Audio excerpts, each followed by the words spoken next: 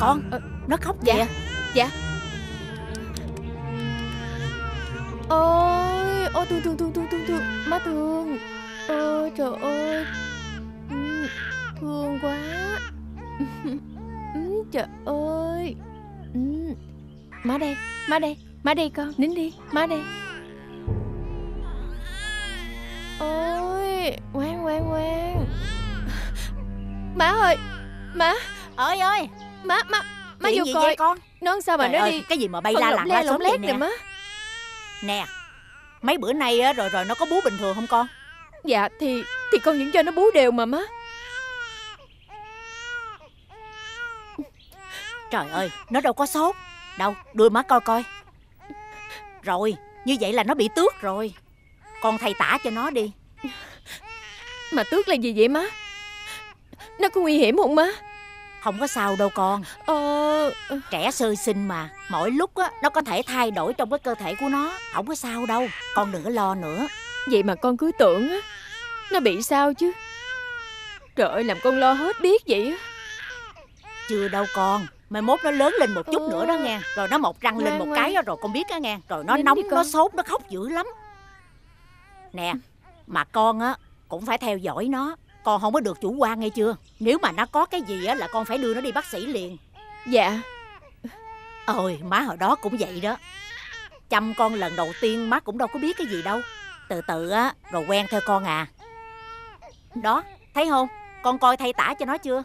Rồi như vậy là đâu có sao. Đâu đưa đây đưa đây cho má. Ô đưa đưa đưa đây ngoan ngoan. Ô Ừ. qua đây qua đây với bà nè con. Ô Ừ. Ô trời cậu cưng cưng con nè. Ô qua đây bà ẩm Sao? Ồ, Đó thấy không? Thấy không? Dạ nó nín liền vậy đó. Ô, ô, giỏi, giỏi ngoại thương con ha. Ồ, Ôi, cái tí thương ghê không cả Anh đã nói em Đừng có nhắc chuyện cũ. Đừng có đụng tới quá khứ của anh rồi mà. Tôi đã đụng chạm cái gì chưa? Hay là chính anh Là người muốn chọc tức tôi? Từ cái võ lan Cho tới cái sự đan Mỹ Lan? Hằng ngày tôi phải chịu đựng anh như thế này từ ngày tôi về nhà anh tới giờ. Anh có coi tôi là vợ anh một giây phút nào chưa? Anh lúc nào cũng công việc Công việc rồi thơ thẩn, Ôm một đống quá khứ đó. Anh coi tôi là cái gì vậy Vĩ? Anh đối xử với tôi như vậy mà anh coi được đó hả? Đây có phải là cái gia đình không?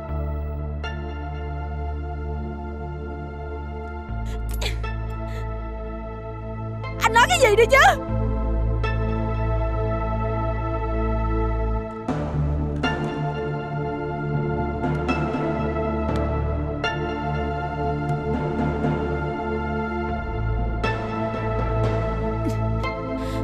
Tôi sẽ đi cho anh vừa lòng. Tôi không chịu nổi cuộc sống ở đây nữa.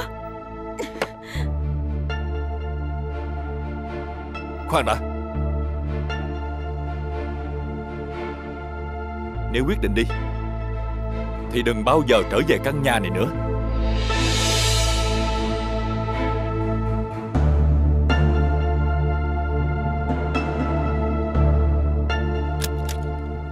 Con à Má. Bình tĩnh đi con Vợ chồng có gì từ từ nói với nhau Sao mà lại to tiếng vậy hả con? Anh có coi con là vợ ngày nào đâu má. Thôi thôi Vợ chồng trẻ mà. Chuyện hụt hạt là chuyện bình thường. Khi có con cái rồi Tự nhiên tụi con sẽ hòa thuận thôi. Bớt nóng đi con.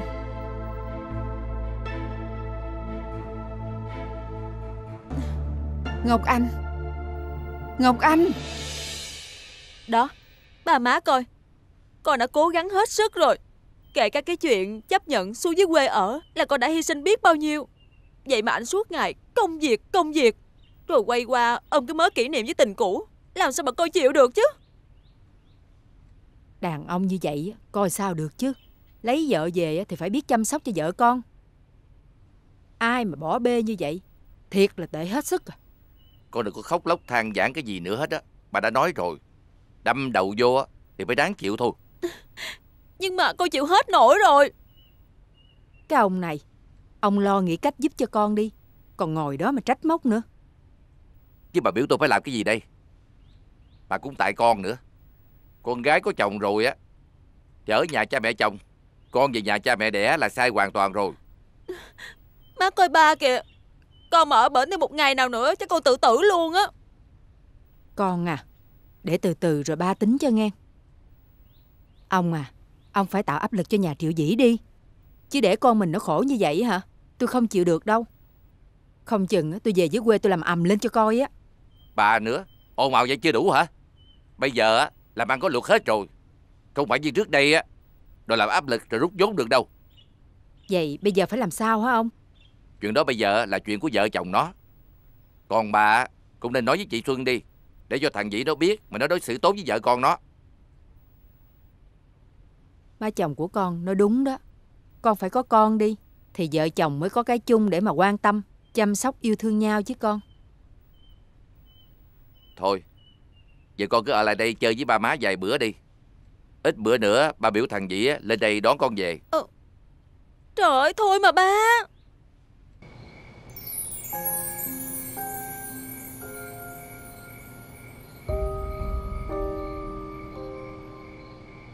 ừ ừ trời ơi nè ừ ừ ừ nè của con nè của con nè ừ trời ơi trời ơi ừ chào Tía sao mà sao mà con nhớ vậy. Ờ, ờ, Tía bà má ở trên đó có được khỏe không? Ờ, ờ, Tía bà má có cháu ngoại rồi đó. Ờ, Tía má Ờ, có linh thiêng lấy hộ cho Trần Đức khỏe mạnh hay ăn chống Nè, lớn tía con. má.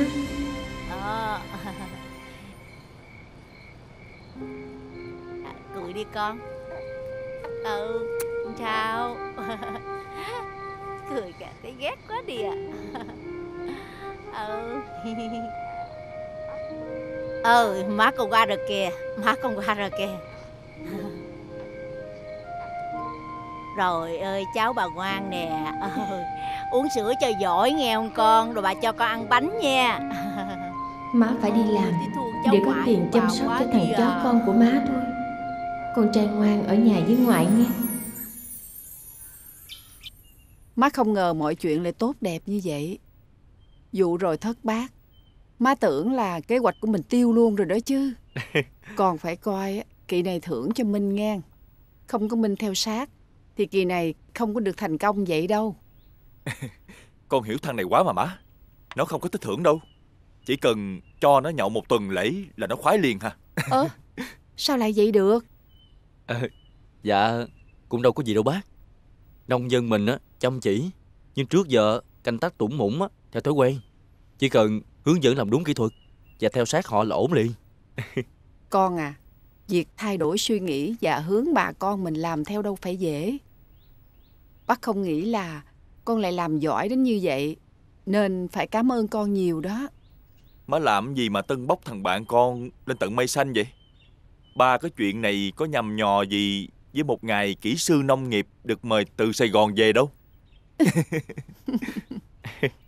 Ờm, Nông dân đã được liên kết lại Mình chỉ cần đầu tư theo máy móc canh tác Gần như sản xuất công nghiệp Giống như mô hình mà con với thằng Dĩ đã lấy nước ngoài đó Lo gì mà không thắng Trải qua bao nhiêu chuyện, bây giờ suôn sẻ, thật tình là má mừng lắm đó.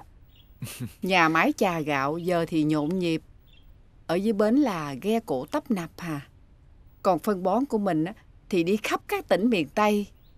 Thành công đợt này một phần là cũng nhờ chú Năm đó. Trong cái việc mà phát triển thị trường mới ở miền Đông Tây Nguyên đó. Má yên tâm đi Những ai có công với nhà máy Con sẽ không quên ơn đâu Con sẽ có thưởng cho họ hết Hmm.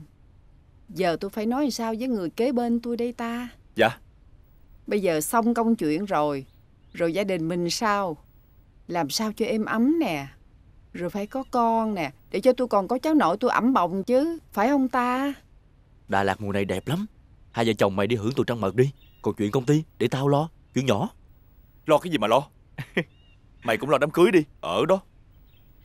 Đúng rồi, con với Mai á cũng phải tính chuyện đi, rồi cũng phải có con với người ta, để cho bác cũng phải có cháu nội nuôi để ẩm để bồng chứ, tôi mong chuyện đó đó. Ừ, Dạ thôi để thằng Dĩ trước đi bác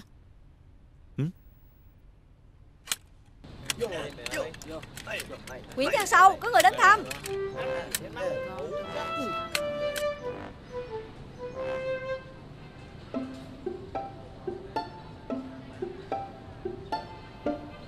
Bà làm gì nhìn tôi hoài vậy? Bộ mặt tôi có dính mực hay sao?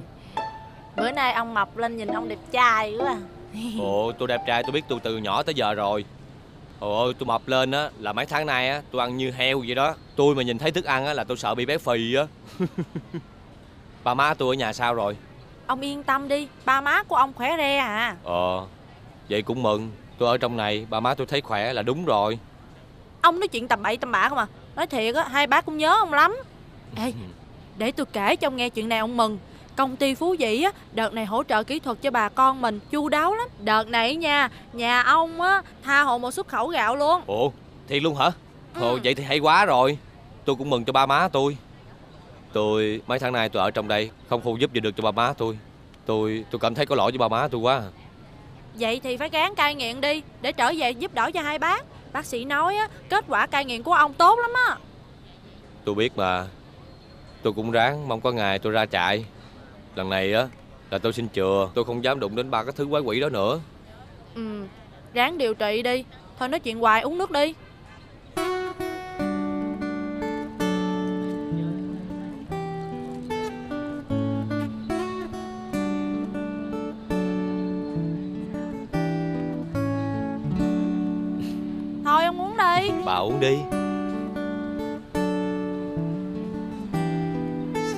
Dạo này bà vô đây bà thăm tôi hoài à.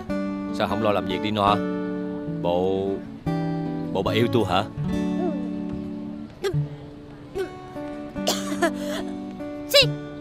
Ai thèm yêu thằng nghiện ngập như ông? Bà nói tôi nghiện đúng không? Tôi vì bà mà tôi đi cai nghiện mà sao bà nói tôi nghiện hoài vậy? Đã vậy á Bữa nào tôi trốn trại Ra tôi nghiện lại tôi trở thành thằng nghiện để cho bà vừa lòng Thôi cho tôi xin lỗi. Ông nói tầm bậy tầm bạ không à? Ông phải ráng cai nghiện chứ. Vậy thôi Bà yên tâm Mai mốt tôi hết nghiện á Bà có yêu tôi không Vô duyên quá. Vô duyên. Nhiều duyên nhiều duyên nhiều duyên Uống đi mày Lại nhớ em ai hả Mới gặp đây mà nhớ cái gì Tao đâu có phải là đứa lụy tình giống như mày đâu Không có chọc nha Rồi mày định khi nào cưới con gái nhà người ta? Hôm bữa Tao mới gặp tía má của Mai rồi. Nói chung á Là tao ghi điểm tuyệt đối. Giờ á Chỉ đợi bên đó có ngày tốt thôi. Tao nghe người ta nói á Đám cưới là phải coi tuổi con gái. Như vậy mày là nhất rồi đó. Được ông bà già vợ yêu quý Thì còn gì bằng nữa. Chúc mừng mày Cưới được một cô gái ngoan hiền chịu khó như Mai. Ê Mày phải trả ơn cho tao đó nha. Ờ nghĩa gì mày? Thì tao kéo mày về đây Mày mới gặp được em Mai. Chứ như không ở đâu mày có. À, Dạ Con cảm ơn ông Mai. Uống đi mày Thằng quỷ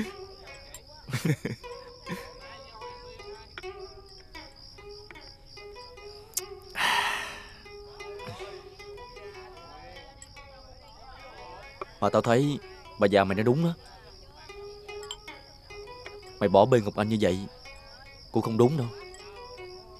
Dù sao cũng là vợ chồng với nhau. Cũng phải lo cho nhau chứ. Thì tao cũng biết vậy. Nhưng mà Tao không quên được Mỹ Lan. Thời gian cũng đủ để mày quên Lan đi được rồi. Mày nghĩ coi Cô thấy mày sống như vậy Cô có yên lòng được không Mặc kệ mọi chuyện đi. Bây giờ hai vợ chồng thu xếp lên Đà Lạt vài ngày, Vừa hâm nóng tình cảm Tiên thể mày vừa tìm hiểu Và gặp đối tác trên đó luôn. Nhưng mà Khó lắm mày ơi. Cái thằng này, Tình cảm chưa có Thì mày càng phải tích cực chứ. Chứ không lẽ mày tính căng thẳng cả đời hay sao? Ừ Để tao coi. Uống đi. Vô.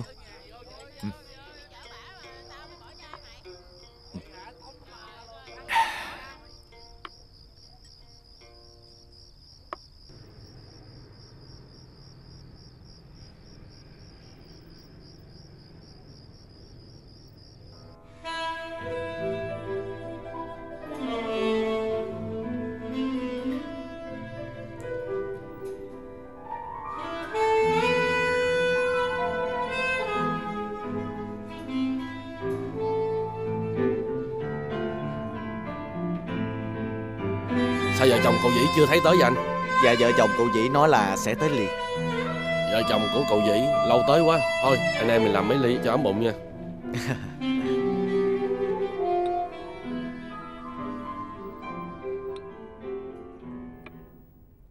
Dạ em mời anh. Xin mời.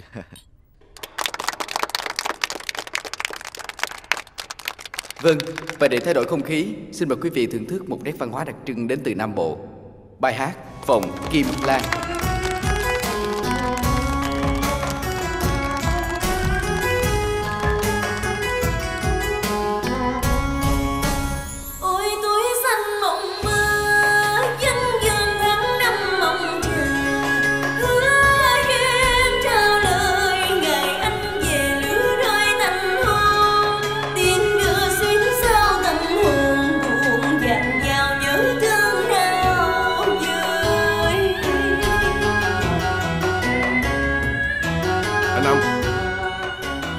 Đã bỏ được bao nhiêu đại lý trên thành phố này rồi? Vợ chồng anh Vĩ em tới liền đó Anh ráng đợi chút xíu nè Anh Năm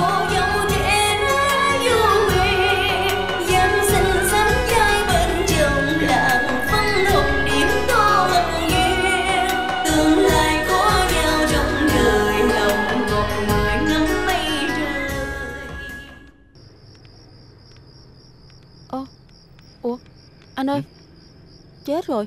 Em để quên cái giỏ trên xe rồi. Thì để đó đi Chút xuống lấy. Chú Năm với khách đang chờ kìa. Mà thôi Tiền bạc với điện thoại để ngoài vậy em sợ mất. Thôi để em xuống dưới lấy. Thôi được rồi Em đứng đây đi Để anh xuống lấy Dạ. cho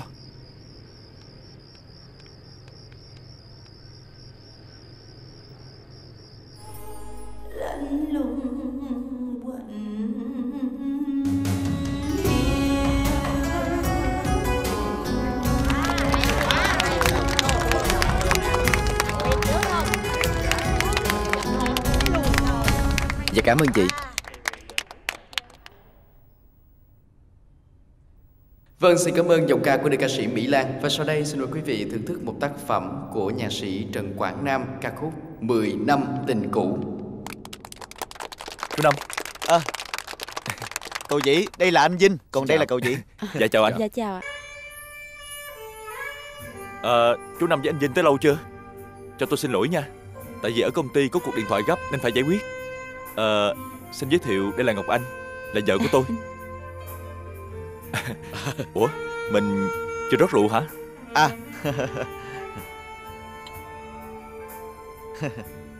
À cậu Vĩ cậu Vĩ Cũng lý cũng lý. Dạ. À chúc mừng sự khởi đầu tốt đẹp của chúng ta nè. Dạ. Chúc mừng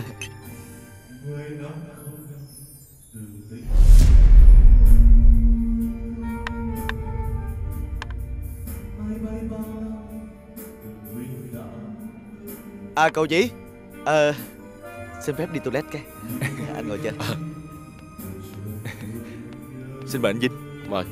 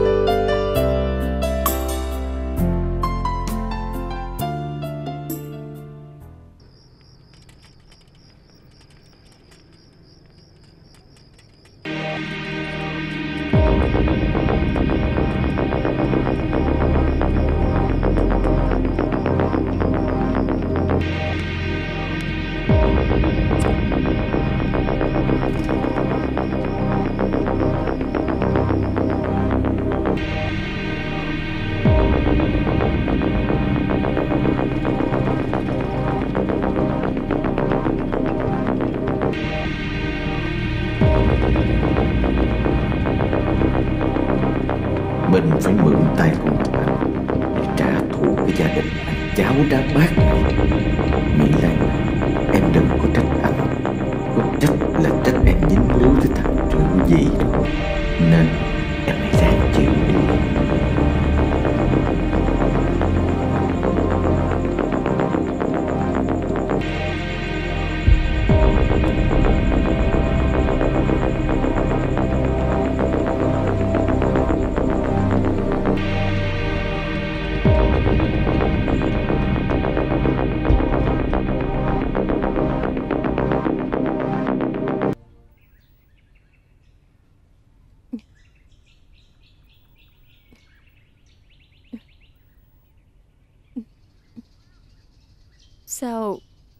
ở đây vậy? Con còn yếu lắm. Ráng nằm nghỉ đi. Ừ.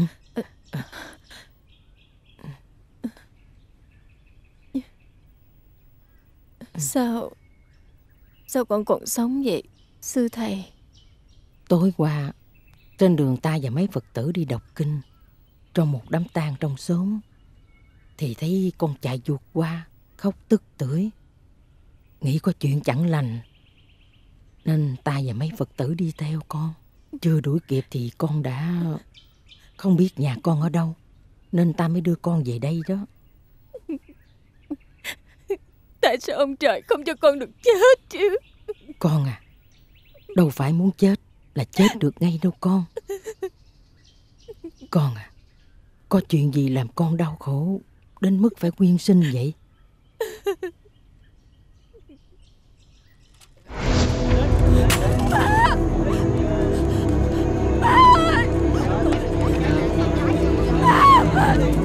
Chị ơi, chị Mình tính cái gì?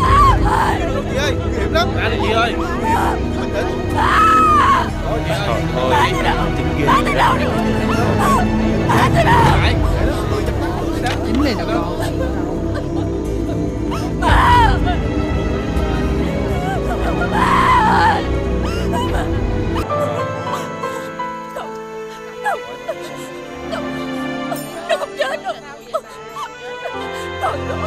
ơi ơi Ba ơi.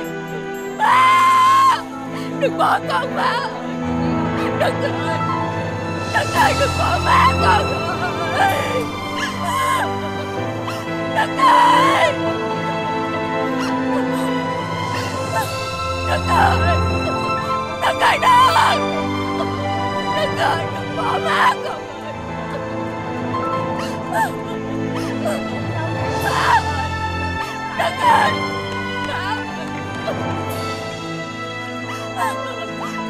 ơi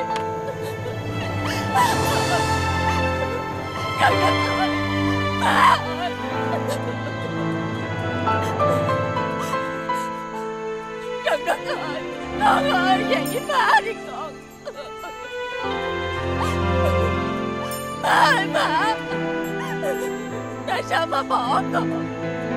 chẳng cần ơi Con ơi về bỏ con Trời đất ơi sao bỏ má vậy con Trời đất ơi Trời đất ơi.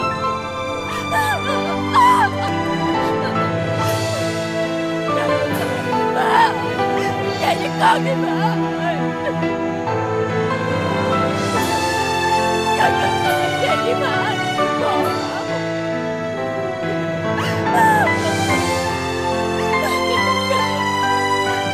Ba đã giết chết con rồi. Bà còn sống trên đời để làm gì nữa?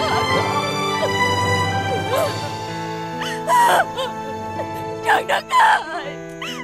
Về với má đi con ơi! Má, Sao má bỏ con một mình vậy má? Trời đất! Trời đất ơi!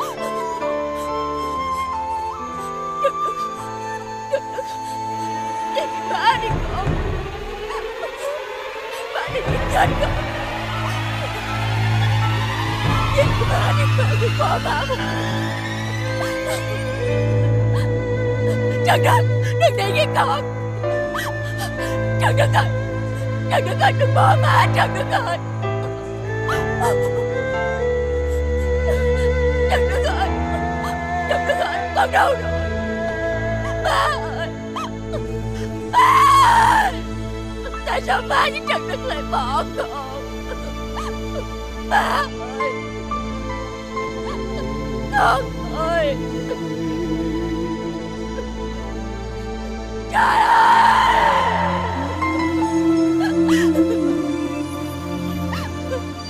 Không còn ba, Không còn con. Ba sống trên đời để làm gì nữa, Trần Đức ơi?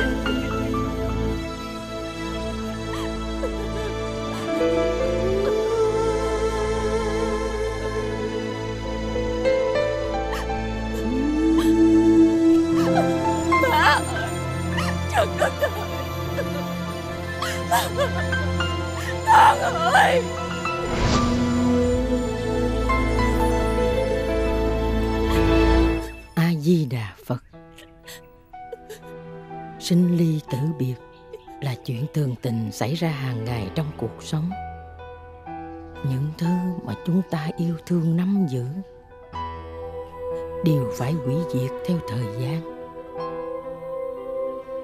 Tất cả phải trả lại cho đời, nếu con cứ khóc than cho trọn kiếp người, thì ma và con trai của con cũng không thể nào sống lại được, vì cuộc sống vốn là vô thường đối với chúng ta hễ có hội tụ thì sẽ có ly tan có sinh thì sẽ có diệt. Đó là quy luật của vũ trụ. Không thể nào tránh né được. Bây giờ con cứ nghỉ ngơi cho khỏe đã. Rồi con về nhà lo hậu sự cho người thân. Con không có nhà nữa. Ba con mất rồi. Đứa con trai duy nhất của con cũng mất rồi. Con không còn người thân nào nữa sư thầy ơi. Đất ơi Con ơi. Má ơi. Nam mô a di đà phật.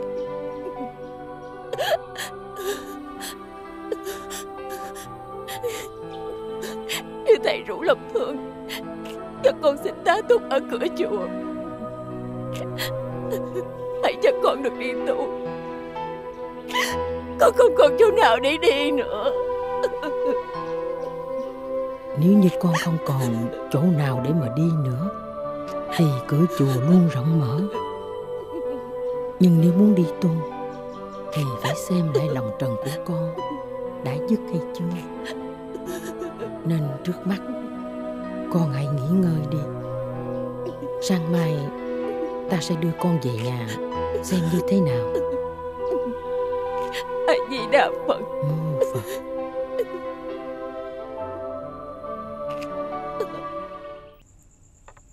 Thằng Dĩ nó nói chừng nào nó về? Ừ, dạ không má. Nhưng mà chắc tối nay hoặc trễ nhất là sáng mai ảnh về thôi má. Ờ. Ừm. Ừm, Má. Gì con? Con Sao ấp úng hoài vậy? Nói má nghe coi. Con trễ hai tháng rồi.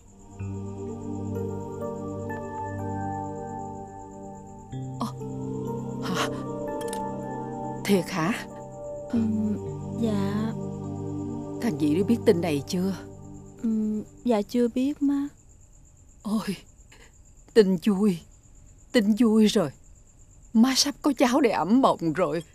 Ôi trời Ăn nhiều vô Dạ, đi con. Đây đây. Ăn thêm vô. Thưa má con mới về. Ủa anh? Em tưởng đâu ngày mai anh mới về chứ. Anh ăn cơm nha Để em lấy chén đũa. Thôi anh ăn rồi. Em với má ăn đi. Con à. Nhà mình có tin vui nghe gì Tin gì má? Vợ con có thai rồi đó